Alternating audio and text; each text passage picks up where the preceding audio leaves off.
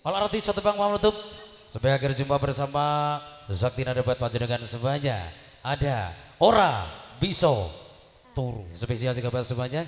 Semoga kesempatan kali ini Kebahagiaan di rumah Bapak Yudi sekeluarga. Itu bersama Sakti Nada